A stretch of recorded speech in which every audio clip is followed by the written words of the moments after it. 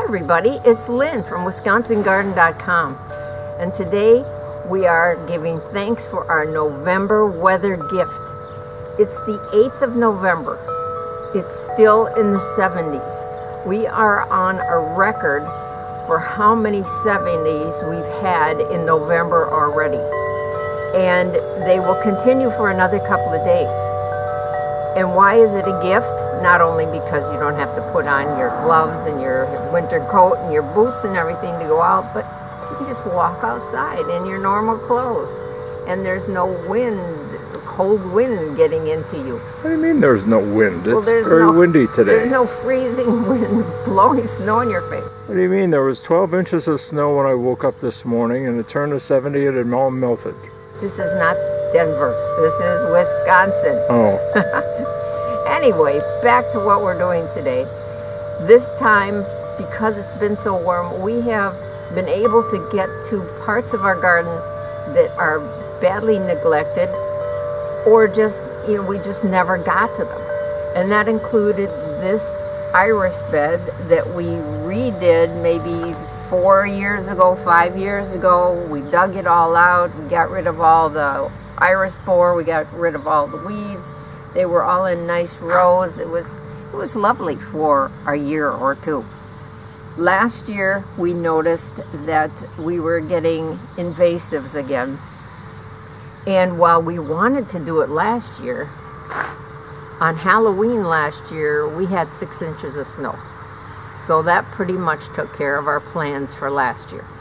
Then spring came and we thought, yep, this we're gonna get it now because it's spring and we can get it while it's still uh, reasonable to get everything out of here we needed to. And no, we got carried away with all our other things that had to be done, things that needed planting, things that needed moving.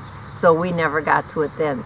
These days of wonderful weather are a blessing especially when you think of other things that are going on this month.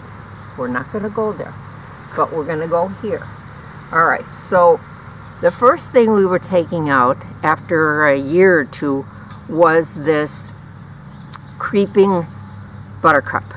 And while we said way back when we should have known with the word creeping in it, this was not something we should have put anywhere near our iris. It had pretty yellow flowers. It has pretty yellow flowers. They're little buttercup like flowers, but look at the roots, and that's after I chopped on them. It reminds me of Steve Martin singing Buttercup in The Three Amigos.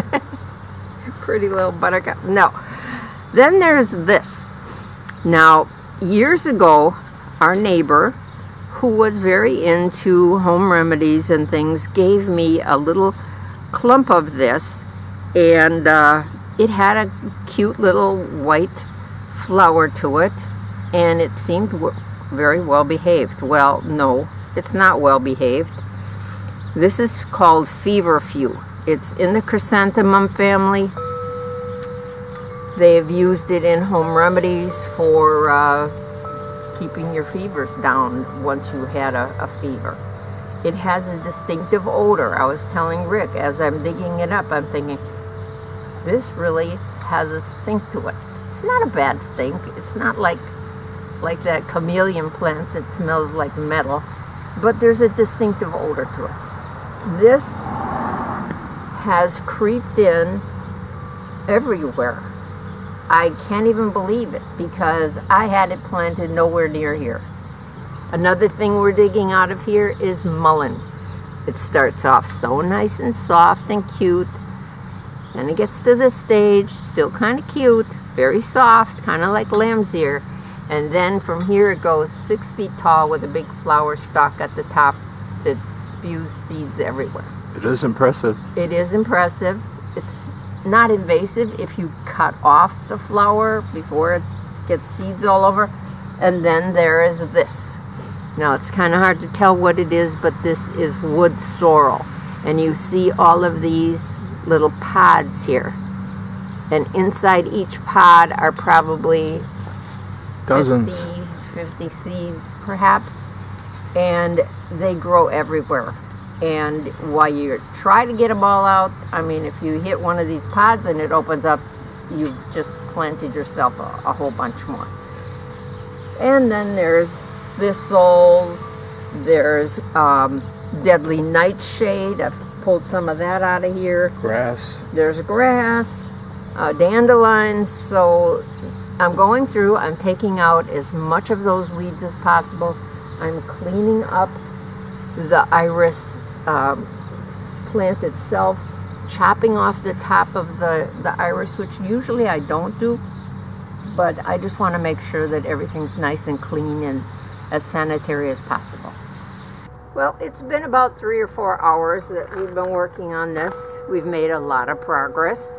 At least we got the uh, the weeds out of there, except for this little area right here, and found a bunch of um, plants that I could divide. Possibly some of them had uh, some iris borer that I cut off and can now plant the remaining good part. The sun is uh, kind of hiding behind the clouds, but it's still really nice out. And hopefully we'll get at least one more day of this, and then it's going to rain. We're So- going to be spoiled. We are. We are going to be so spoiled. So you spent the morning helping me with part of this, and then you've been blowing leaves like the wind. Well, our neighbor's leaves migrated all over our lawn and driveway and Right. And he has oak leaves. beds and so I did my best to blow them off the road, off the grass, off the berms. my arms are tired. That's a that's a blower. That is a heavy blower if Yeah. you have to haul it around for very long. I think I'm going to have to get a backpack. Ooh, like Josh's. Yes. Yes. I want a vacuum cleaner like that, so I don't have to drag something behind me. Just carry it on my back and Yeah. vacuum. Well, I think of all the things that we were able to get done this year, considering, Mm-hmm. and yet how many things still need to be addressed. Oh, there's not that But- many things that are urgently needed. We just have to store our bulbs when they're done uh, drying on the front porch. We're going to store them and figure out where we're going to put them all, and uh, then kind of look forward to a resting time, hopefully, before the snow flies. But this ought to be Got me all choked up. this ought to be very pretty. I spent the last two days planting daffodils and tulips and alliums, so that ought to be pretty in the spring. So it'll be something to look forward to. Well, you really cleaned up that driveway area in the Yes. south. I mean, that. Yes, we did. Well, just like this area with the iris. Mm-hmm. I mean, it's so nice knowing that this is done. Right.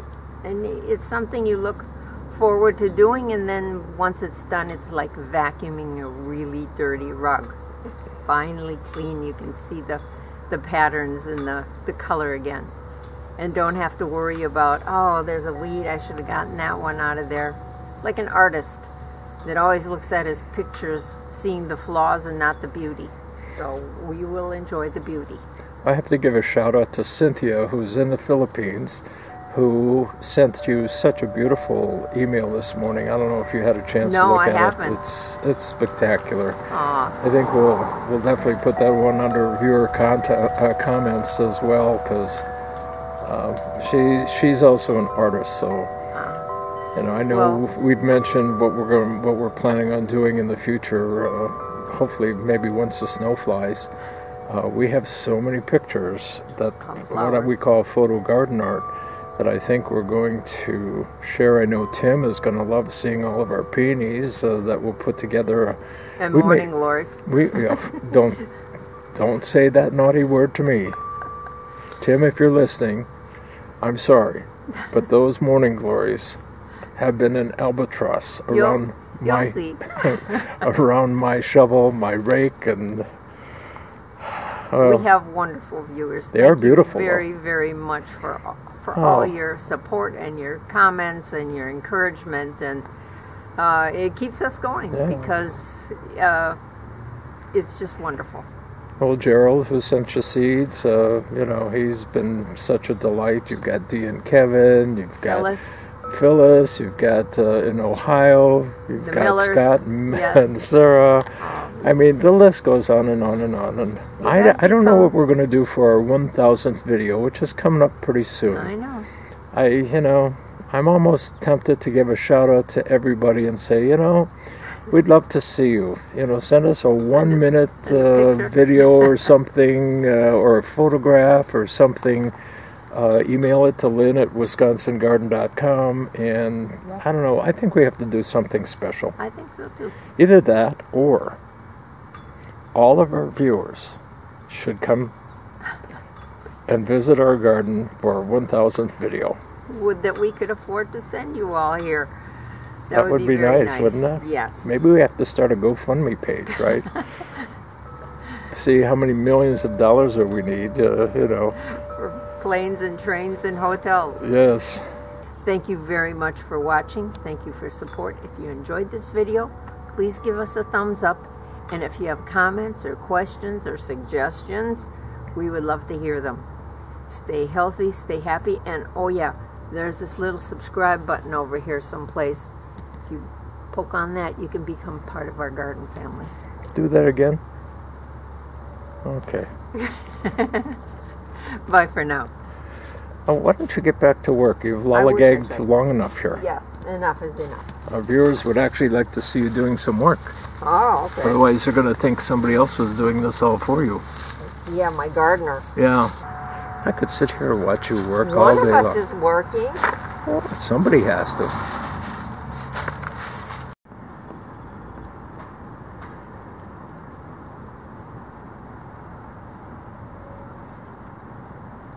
Connect with us on YouTube and subscribe to our channel.